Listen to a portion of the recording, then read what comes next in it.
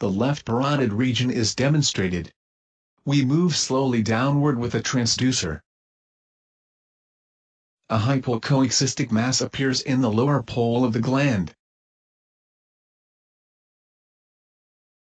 The lesion is clearly within the parotid gland.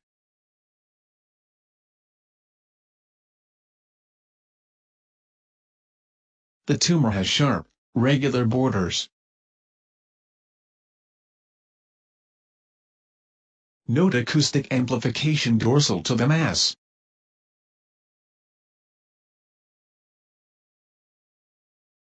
The lesion presents no vascularity.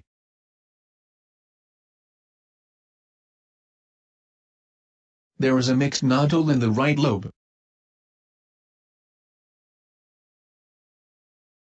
The solid part is minimally hypoechoic. The lesion has echogenic lines and granules within, most are related to cystic areas. These correspond partly to back wall figures partly to comet-tail artifacts.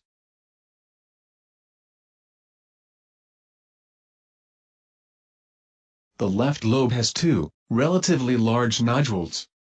Both are mixed and present with echonormal solid area. The upper one is a dominantly solid while the lower one is dominantly cystic.